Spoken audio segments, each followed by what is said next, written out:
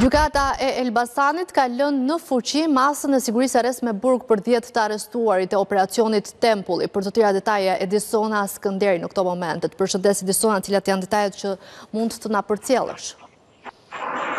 Ju përshëndes, ka përfunduar pas rreth tre orësh seanca në gjykatën e Elbasanit ndaj dhjetë personave të akuzuar për trafikim të lëndëve narkotike, dhjetë persona të cilët u arrestuan në kuadër të operacionit policor të koduar Tempulli, ku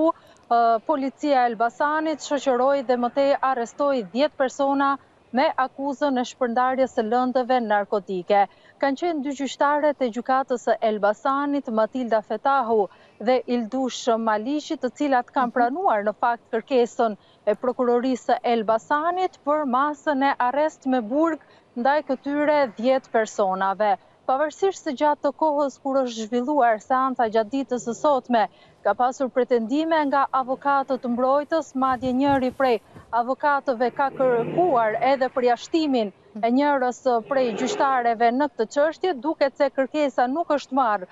për bazë dhe në përfundim gjykata ka vendosur masën e arrestit me burg për të dhjetë këta persona. Ndërkohë që kujtojmë që katër të tjerë janë ende në kërkim nga policia e Elbasanit, pasi dyshohen si persona të përfshirë në këtë ngjarje të rëndë kriminale dhe që vijon puna ende për kapjen dhe arrestimin e tyre dhe më tej përballjen edhe të këtyre katër personave me Gjykatën e Elbasanit. Tashmë ata të dhjetë personat janë shoqëruar nga policia drejt